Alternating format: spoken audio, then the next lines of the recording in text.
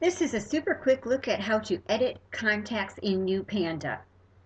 From the Manage Your Contacts tab, you're simply going to uh, locate the contact that you would like to edit. You may want to use our search feature here uh, to search for uh, through your contacts. You can also use our filter options if you'd like to filter for your contact.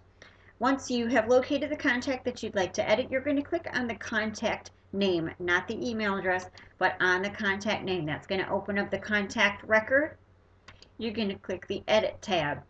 Here you'll see uh, all the information that you've got uh, about your contact, and you can uh, add, subtract, change, update, or otherwise alter information about uh, your contact. Once you're done uh, adding information, Simply going to scroll to the very bottom of the page and click the Save button. That's a super quick look at how to edit contacts in NewPanda.